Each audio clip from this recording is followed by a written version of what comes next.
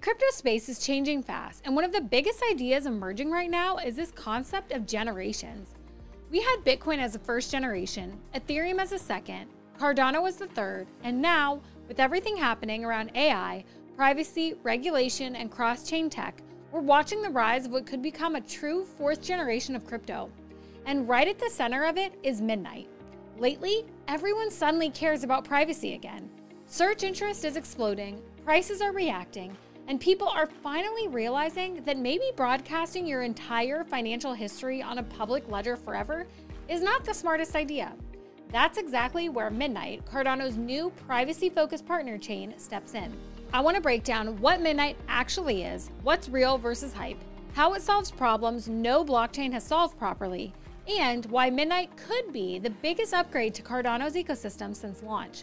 And as always, this is not financial advice, just my personal thoughts. Always do your own research.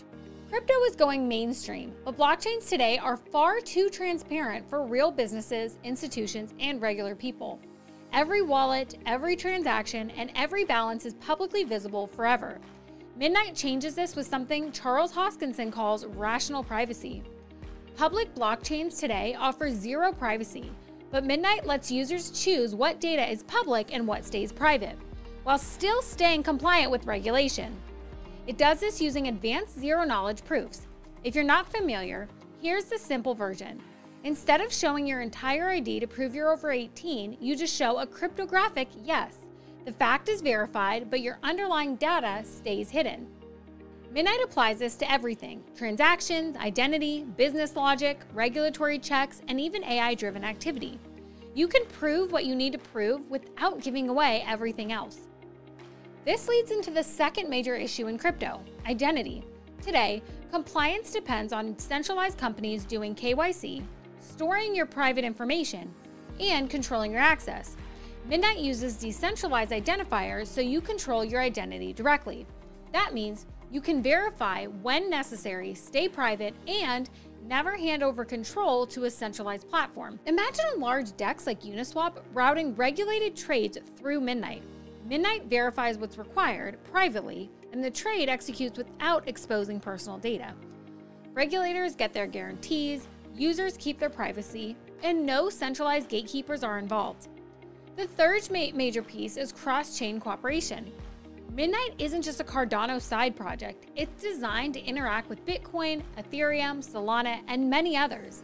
It uses a dual token model with Night and Dust. Night is a public governance token, Cardano native, tradable, and deflationary. It's used for governance, block production, and rewards. Dust represents computation on the network and protects transaction metadata. Dust has value but isn't used to store value, which makes Midnight compliant and exchange friendly, avoiding the issues fully anonymous tokens face.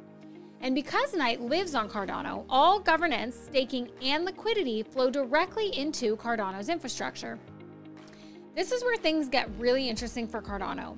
Midnight gives Cardano a real privacy layer for the first time. Cardano's transparent base chain is great for accountability, but not for healthcare, finance, government, or enterprise use cases involving sensitive data. Midnight fixes that which unlocks new on ramps for regulated capital and real world applications.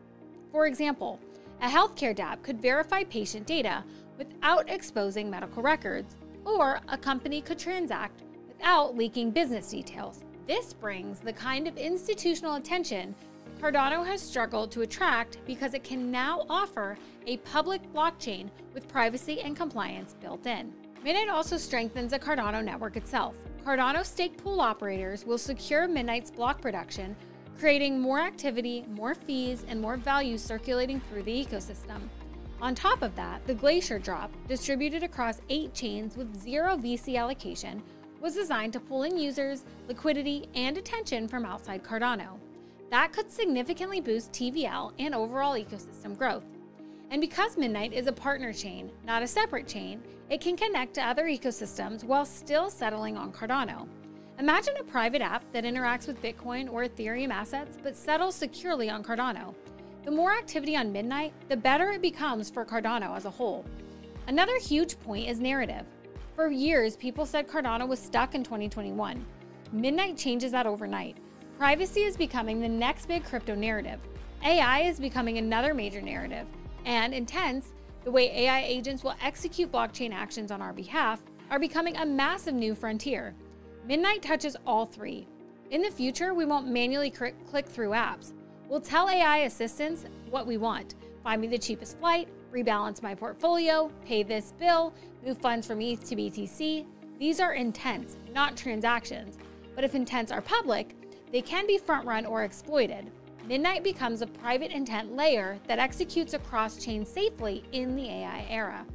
So here's the big picture Bitcoin gave us decentralized money, Ethereum gave us programmable money, Cardano focused on governance and scalability, and now Midnight aims to bring rational privacy, user controlled identity, cross chain cooperation, and a private intent layer for the AI world, all without the heavy VC domination that held other networks back.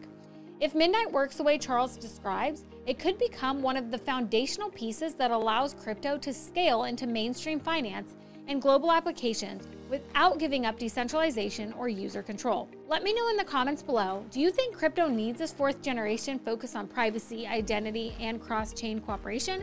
I hope you got massive value from this breakdown. Keep moving forward in everything that you do, and we'll see you in the next one.